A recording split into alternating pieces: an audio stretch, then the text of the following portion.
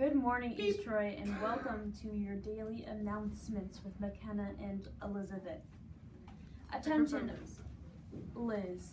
Attention, all MCC members. There will be a meeting today in 216 room number that to elect officers and discuss our upcoming events.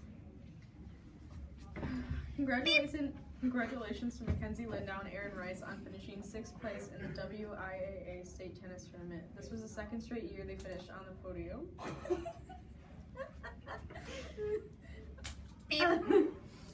At 6:30 p.m. The, on the ETHS football field, the marching band is doing a free performance, free of charge.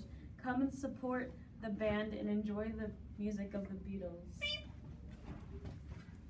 Any student who is interested in starting violin, viola, cello, or bass, or already has experience on the instrument, there will be an organized meeting in the band room on Friday during resource.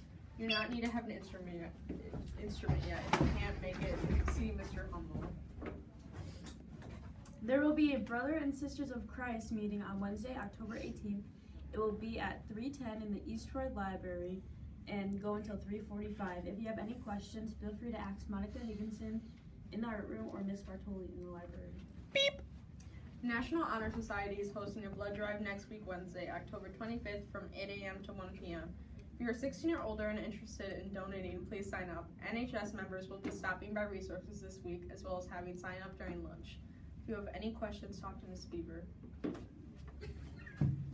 Attention all high school baseball players, there will be a mandatory baseball meeting tomorrow on the Brett Miller Gym during resource.